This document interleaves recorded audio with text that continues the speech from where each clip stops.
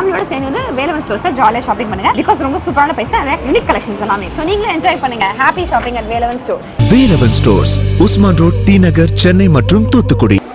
சந்தானம் முதல் கூடும்போது வர அரசியல் இருக்கவே கூடாது பேசலன்றாரு என்னை கூப்பிட்டீங்க எப்படி அரசியல் இல்லாமல் இருக்குன்னு தெரில எனக்கு. அது எளி அது எளிமையாக பற்றிக்கும் ஆனால் நான் வந்து அரசியல் பேசாமல் என்ன பேசுறது? நான் நிஜமாக சொல்கிறேன் இந்த நிலைமை வரைக்குமே இந்த அரசியல் இல்லாமல் நம்ம என்ன பேச போகிறோம் புரியவே இல்லையே. நம்மளை கூப்பிட்டா சும்மா நம்ம வாயு சும்மா இருக்காது. எதையாவது கிளறி விட்டு போயிடுவோமே அவங்க வேறு ட்ரஸ்ட் வேறு ஆரம்பிச்சிருக்காங்க. அந்த தொண்டு நிறுவனம் என்ன நோக்கத்தால் ஆரம்பிக்கப்பட்டதோ அந்த நோக்கத்தை முழுமையாக வெற்றிகரமாக இருக்கிறதுக்கு என்னுடைய வாழ்த்துக்கள். இறைவனை வேண்டிக்கிறேன். ஆனால் விஷயம் என்ன அப்படின்னா நான் இங்கே வர்றதுக்கு முன்னால் கூட இது ஏறும்போது கூட ஒரு நபர் கேட்டார். அந்த கூட்டத்தில் இருக்காரான்னு தெரில அவர் கேட்குறாரு எந்த நம்பிக்கையில் மாறதாஸ் நீ ரஜினி மீது இவ்வளோ நம்பிக்கை வச்சே கேட்டார்? அந்த கேள்விக்கு பதில் சொல்லிடுறது நல்லது நினைக்கிறேன். அது அரசியல் இல்லைல்ல. அது அரசியல் கிடையாது இல்லையா? அதை நான் பேசலாம் இல்லையா? எந்த நம்பிக்கையின் அடிப்படையில் நீ ரஜினி அவர்கள் மாற்றத்துக்கானவர்? இங்கே ஒரு முக்கியமான தலைவராக இருக்க முடியும்னு கேட்டாங்க. நான் அப்போ சொன்னேன் இங்கே முன்னே இருந்ததை விட கடந்த நீங்கள் ஒரு ஐம்பது வருஷமாக எடுத்துக்கிட்டிங்கன்னா திராவிட கட்சிகள் மாறி மாறி ஆட்சி பண்ணியிருப்பாங்க. அதுக்கு முன்னாடி காமராஜர் ஆட்சி பண்ணியிருப்பாங்க. சுதந்திரத்துக்கு முன்னே நீங்கள் ஆரம்பிச்சிங்கன்னா காங்கிரஸுடைய அந்த வீரியம் இருக்கு இல்லையா? அது ஏறக்குறைய ஒரு சுமார் ஏறக்குறைய அது ஒரு இருபத்தஞ்சி வருஷம். அதுக்கப்புறம் அதிமுக ஒரு இருபத்தஞ்சி வருஷம் திமுக ஒரு இருபது வருஷம்.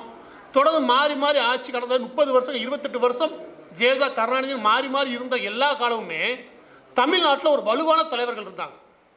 நீங்கள் உங்களுக்கு பிடிக்குது பிடிக்கல ரெண்டாவது விஷயம். ஆனால் தமிழ்நாட்டில் ஒட்டுமொத்தமாக அந்த தேசத்தை வழிநடத்தக்கூடிய ஒரு சக்தி இங்கேருந்து இயங்குச்சு. ஆனால் இது ரொம்ப கெடுவாய்ப்பாக ரெண்டாயிரத்தி பதினாறு பதினேழு பதினெட்டுகளுக்கு அப்புறம் அதாவது ஜெயலலிதா அவங்க மறை மறைவுக்கு அப்புறம் கருணாநிதி அவர்கள் முழுமையாக அரசியலில் ஈடு தன்னுடைய செயலாக்கம் முழுமையாக முடங்கினதுக்கு அப்புறம் இந்த களத்தில் இந்த மண்ணிலிருந்து அரசியல் ஒரு வீரியமாக செயல்படவே இல்லை. அதனால தலைவர் சொன்னார் இங்கே தலைமைக்கான வெற்றிடம் இருக்குது. கரெக்டா? தலைமைக்கான வெற்றிடம் இருக்குது. நான் திரும்பவும் சொல்கிறேன் உங்களுக்கு பிடிக்குது பிடிக்கல ரெண்டாவது விஷயம். ஆனால் ஜெயலலிதா அவர்கள் ஒரு தலைமையாக வலுவாக ஊன்றியிருந்த இந்த காலகட்டத்தில் அவங்க இறந்ததுக்கப்புறம் அவங்க இறந்ததுக்கப்புறம் எங்கேருந்தா வந்தாங்க தெரியல ஏகப்பட்ட போராளி எல்லாரும் போராளி ஆகிட்டான் வத வத வத வதன்னு வரானுங்க. ஆனால் அது வரையும் கிடையவே கிடையாது அவங்களாம் எங்கே இருந்தாலே தெரில அப்போ ரெண்டு தலைமை வெற்றிடம் ஆகும்போது அந்த களமே எளிமையாக போராளின்ற பேர்வில போலியா தீவிர கும்பலுக்கு எளிமையாக அதை கலவர களமாக மாற்ற முடிஞ்சது. இப்போவும் சொல்கிறேன் மத்தியில் உங்களால் உங்களுக்கு தேவையான விஷயங்களை சாதிக்கிறது ரொம்ப கடினமாக இருக்கு. ஏன்னா வலுவான தலைமை இல்லை. அன்னைக்கு வெற்றிடம் இருக்குன்னு சொன்னார் இல்லையா? அன்னைக்கு இருந்ததை விட இன்னைக்கு பல மடங்கு பெரிய வெற்றிடம் இருக்குன்னு நான் சொல்கிறேன் ஆனால் அரசியல் இல்லை. நான் திரும்ப சொல்கிறேன் என் அரசியலுக்காக கூப்பிடல. என் மனசில் பட்டதை பேசுகிறேன் சந்தானே மன்னிச்சுக்கணும். சரியா? நான் மனசில் பட்டதான் பேசுகிறேன் ஏன்னா அன்னைக்கு இருந்ததை விட இன்னைக்கு ரொம்ப பெரிய வெற்றிடம் இருக்குது. அப்போ மனசில் ஒரு என்ன வருது என்ன ஒரு வருத்தம் வருதுன்னா இந்த மண்ணிலேருந்து ஒரு வலுவான தலைவர் இன்னும் உருவாகவே இல்லை. அதை தேடி பார்க்கும்போது உங்கள் கண்ணெறிவே ஒரு பதில் இருக்கும். இவங்க மாற்றம் மாற்றம். இப்போ இப்போ இருக்கக்கூடிய சூழலை கொஞ்சம் யோசிச்சு பாருங்கள் நீங்களே அரசியலை பார்த்துருப்பீங்க. இப்போ இருக்கிற சூழலில் அரசியல் பேசாமல் இருந்தால் தான் பாவம். ஏன்னா அந்தளவுக்கு மோசமாயிருச்சு. சரியா? சரியா இல்லையா? ஒரு தலைமை இல்லாதனால இவ்வளோ குழப்பம் இத்தனை நாள் அதிகரிச்சுக்கிட்டே போதே தவிர ஒரு நாளும் இது செட்டில் ஆகவே இல்லை. இன்ன வரைக்கும். இந்த நொடி வரைக்கும் அடுத்த மூணு மாதமும் செட்டில் ஆக ஆமாம் அப்போ நீங்கள் திரும்ப சொல்கிறேன் ஊழலெல்லாம் தள்ளி வச்சிருங்க. ஒரு வலுவான தலைவர் இருக்கும்போது இங்கே பொருளாதார உங்களால் முன்னேற்ற முடியும். இங்கே இருக்கிற ஒரு பிஸ்னஸ் மேனுக்கா இந்த இங்கே இருக்கக்கூடிய அந்த காசு புழக்கம் இருக்கு இல்லையா? அது இயற்கையாகவே அதிகரிக்கும். வலுவான தலைவர்கள் இல்லைன்னா அவன் அவனோட காப்பாற்றிக்க முயற்சி பண்ணுவானே ஒழிய இந்த மண்ணுக்கான தேவையான குறைஞ்சபட்ச அரசியல் கூட பண்ண மாட்டான். அந்த நிலைமை உருவாயிருச்சு. இப்போ அந்த கேள்வி ரெண்டாவது ஒரு கேள்வி வரும்போது கேட்டார். அந்த கேள்விக்கு வரேன். அது என்ன எதை வச்சு ரஜினி நம்புறேன் அப்படின்னு. ஐயா ரெண்டு பேர் வாங்களேன் சுந்தர் வாங்க. நான் ரெண்டு பேரும் எக்ஸாம்பிளாக சொல்கிறேன் கொஞ்சம் எளிமையாக சொல்கிறதா இருக்கும். நம்ம ஊரில் என்ன இந்த இன்டலெக்சுவல் அதாவது கொஞ்சம் அறிவுசார் அரசியல் பண்ணி பழகிட்டோம். சரியா? நான் உங்களுக்கு என்ன சொல்லுவேன்னா ஊழலை ஒழிக்கிறோம் அதை ஒழிக்கிறோம் இதை ஒழிக்கிறோம் இந்த பாருங்க. நம்ம மக்களுக்கு ஊழல்னா என்னன்னு தெரியும். அதை வச்சு தான் அரசியல் போடல. கேட்டா நம்ம ஆள்கிட்ட போய் கேட்டீங்கன்னு வச்சுக்கவே தம்பி திருட்டு ரயில் ஏறி வந்து பொழைச்சிக்கிட்டா இருப்பாரு அதுவே பெரிய திறமை வேணும் தம்பி இல்லையா? நம்மளால அப்படி பேசுவான் ஏன் தம்பி ஊழல் பண்ணுறான் அதுக்கு திறமை வேணுமியா அப்படியா?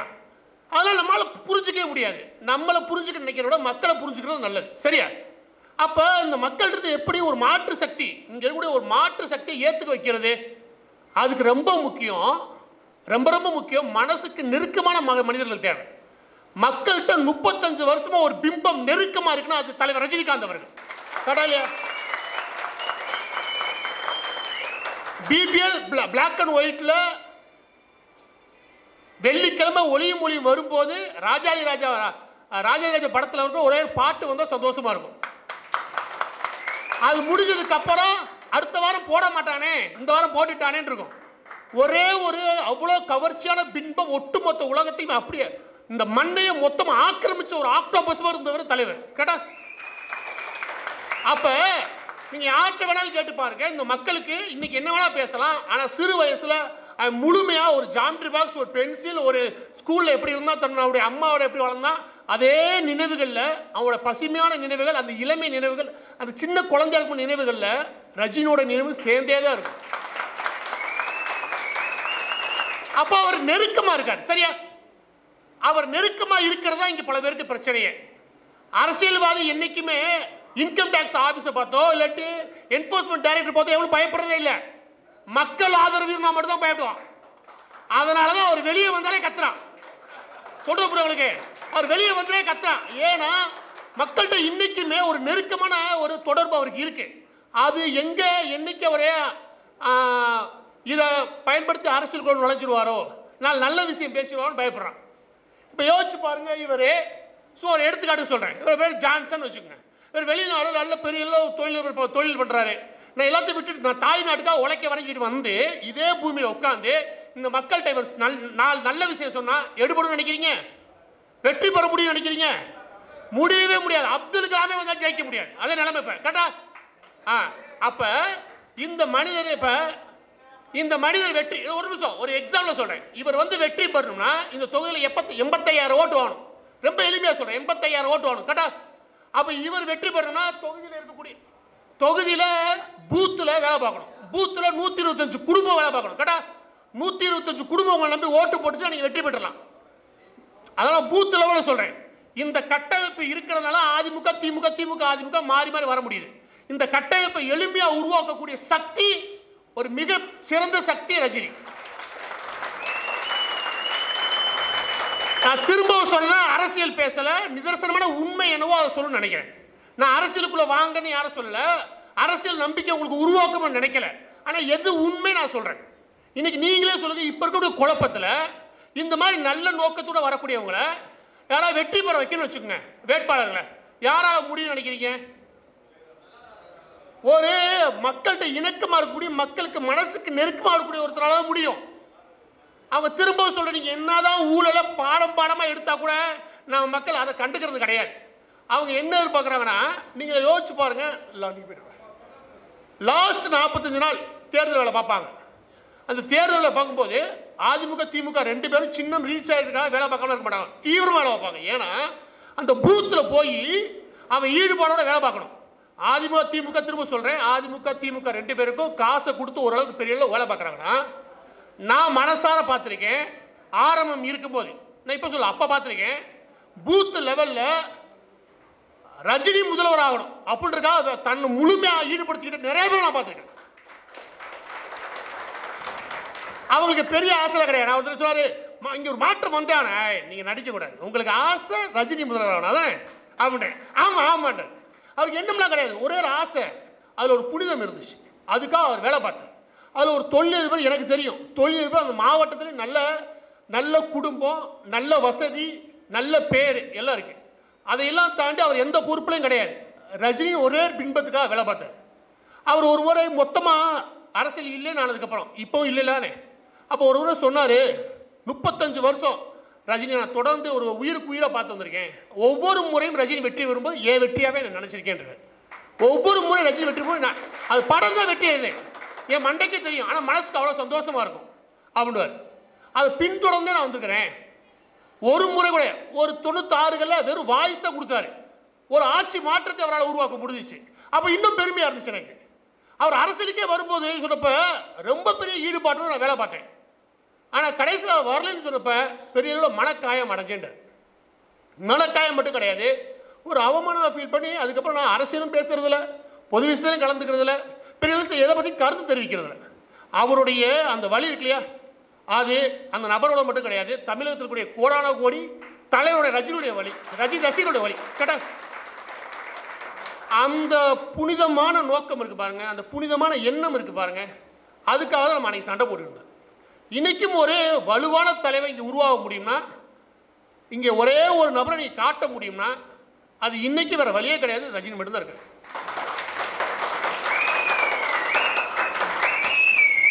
மன்னிச்சுக்கணும் அரசியல் பேசக்கூடாதுன்னு வந்தேன் ஆனால் அதை நீங்கள் இழுத்து விட்றீங்க அதனால் சொல்கிறேன் வரும்போது அந்த கேள்வியை கேட்டீங்க. நான் ஏன் நம்புறேன் நான் ஏன் நம்புறேன் இப்போ சொன்னா நம்ம யாரை கூட்டி வந்தாலும் மக்களுக்கு பொரியல பொரியல புரிய வைக்க முடியாது. அவர் வந்து ஒரு நாலு வார்த்தை பேசினா நல்ல விஷயம் பேசினா வச்சுக்கோ ஏறும். அதை வச்சு கொஞ்சம் கொஞ்சமாக மாற்றங்களை இங்கே உருவாக்க முடியும் நம்புறோம். ஆனால் இங்கே மாற்றமே நடக்கக்கூடிய ஒரு கும்பல் தெரியுது. அந்த கும்பலுக்கு தான் அவர் பிடிக்க மாட்டேங்குது. தவிர அவருக்கு இதில் பெரிய நோக்கம் இருக்க முடியும்.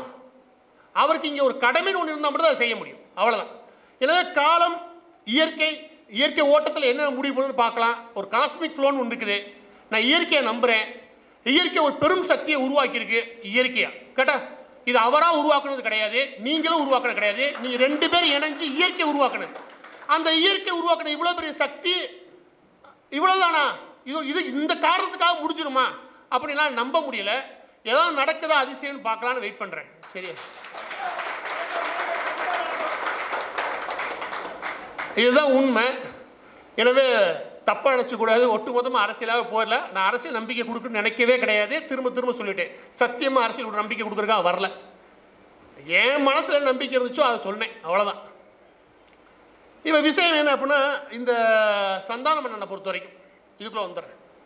சந்தான மன்னனை பொறுத்த வரைக்கும் எப்படி அப்படின்னா இது தெரிஞ்சுக்கணும் நீங்கள் அதுக்காக சொல்கிறேன் அந்த காலத்தில் வேதத்தில் சொல்லியிருப்பாங்க ஒரு அரசனோட நீங்கள் பழகிறதுனா என்ன மாதிரியான குணம் தேவைன்னு.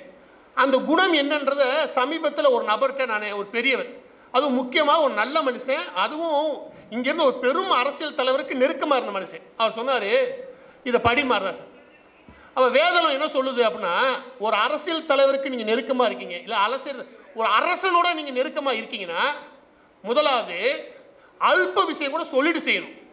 நீங்கள் எந்த விஷயம் எடுத்தாலும் சரி தலைவர்கிட்ட சொல்லாத செய்ய மாட்டேன். முதலாவது குணம். நீங்கள் அவரோட பொசிஷனுக்கு அரசனுடைய பொசிஷனுக்கு வரணும்னு நினைக்கக்கூடாது கிடையவே கிடையாது. சந்தானே பின்னாடி தான் நிற்பார் எப்பயுமே. அந்த பொசிஷனுக்கு நினச்சி கூட பார்க்க மாட்டார். சரியா? அப்படி ஒரு மனுஷன். மூணாவது ரொம்ப ரொம்ப முக்கியமான குணம். நம்மளாம் ஏமாற்றம் அடைஞ்சிருப்போம். அது ரொம்ப ரொம்ப முக்கியமான குணம். அரசனை ஒருபோதும் நம்புறது மூட நம்பிக்கை. ஏன்னா அரசனுக்கு மட்டும்தான் எப்படியான தந்திரங்களை உருவாக்கணும் எப்படி நம்ம போர்களை வெற்றி பெறணும் மற்ற வேலைகளை எப்படி செய்யணும் தெரியும். ஏன்னா அரசனுடைய நம்பிக்கை ஏதோ ஒரு நடவடிக்கை எடுக்காம நம்ம குழப்பம் வந்துடும் குழப்பம் வந்தோம்னா என்ன இப்படி எடுத்துட்டான் அரசு நம்ம நம்ம நினைச்ச மாதிரி செய்யலையே அப்படின்னு நினைப்போம் கேட்டா அந்த நம்பிக்கை வைக்கிறது மூட மூட நம்பிக்கைன்னு வேதம் சொல்லு அதெல்லாம் அரசு நீ முழுசா என்ன செஞ்சா சரி? எல்லாரும் அப்படியே ஏற்று நடக்கணும்.